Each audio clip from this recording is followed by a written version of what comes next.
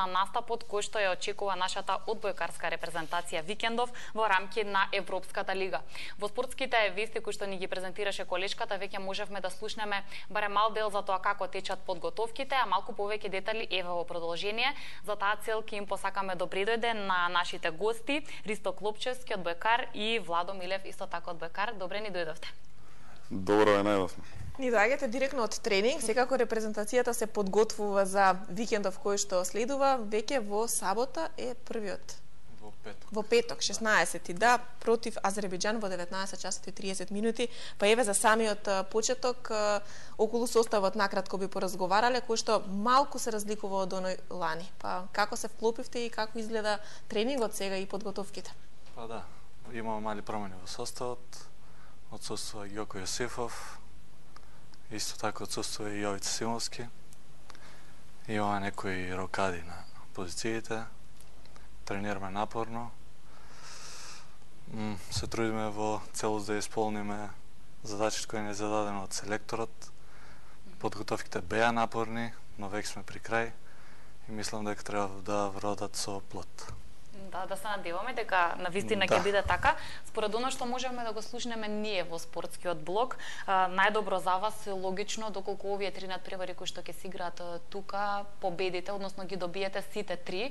Е сега колку се тоа реални цели, дали на вистина се надевате и очекувате да биде така според степенот на кој што сте подготвени во моментов? Така, па со оглед на тоа што оние четврти циклус на Европска лига, минатите три циклуси игравме Final Four, веќе очекувањата се на поголемо ниво и имаме некој императив, односно исполниме да речеме цел со три победи на домашен терен. Mm -hmm. А потоа и вториот турнир во Албанија со три победи таму и да бидеме со првото место влезени веќе во четвртиот Final Four на македонската репрезентација и сметам дека тоа е цел што би можеле да исполниме со на тоа што колку напорно работевме. Mm -hmm. Имавме нов систем на работа, нов селектор и мислам дека без разлика на кадровските промени во составот, ќе го сносиме товарот и ќе направиме резултат. Постојат реални шанси за тоа да се случи. Да, вие ги споменавте вашите предходни настапи кои што можеме на вистина да кажеме дека се успешни со оглед на тоа колку високо стигнавте таму. Меѓутоа од друга страна реалноста вели дека можеби одбојката сепак се уште не е помеѓу најпопуларните спортови тука кај нас и не толку често се зборува за овие успеси во јавноста, дали и вие самите тоа така го доживувате или пак можеби чувствувате дека сепак добивте признание за за досегашните успеси? Така, добивме признание и тоа тоа сето си доаѓа кога ќе се направи еден резултат, еден успех. И сега јас можам да кажам и тоа е став на сите соиграчи на целата федерација дека оваа репрезентација заслужува да игра на повисоко ниво.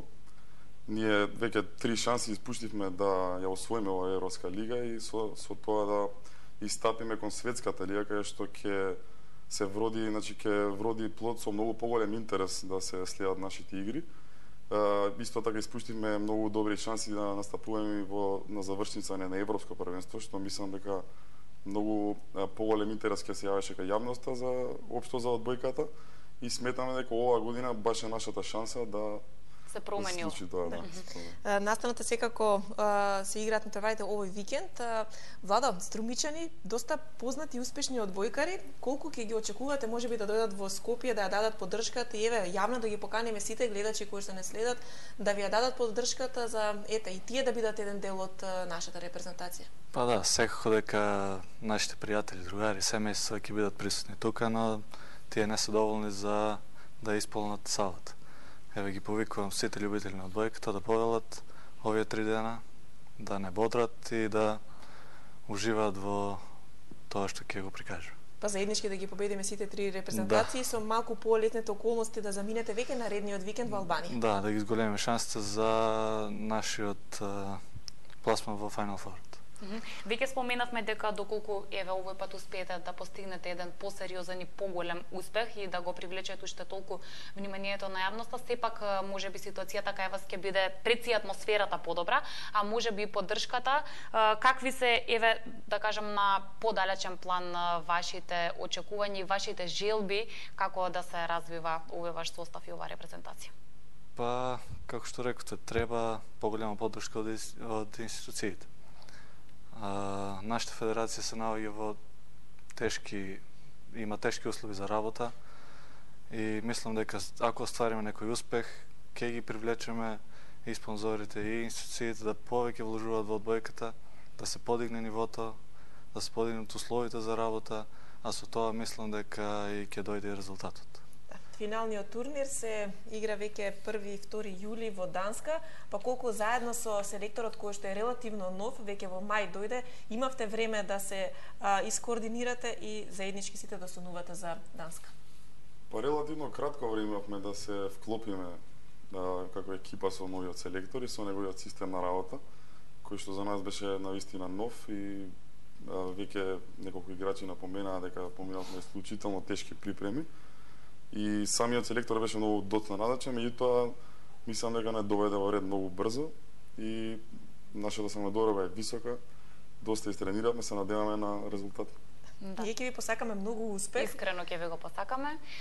Бидејќи овој пат ете можеби немаме повеќе време за да разговараме за сето она што го работите, сепак се надеваме дека нови големи успеси во рамки на Европската лига ќе значат ваше повторно гостување за тогаш да ги сумираме позитивните впечатоци. Ви благодариме. очекуваме по Данска овде во студиото заеднички да прославиме. Со освојување на Европската да. лига се надевам. Да.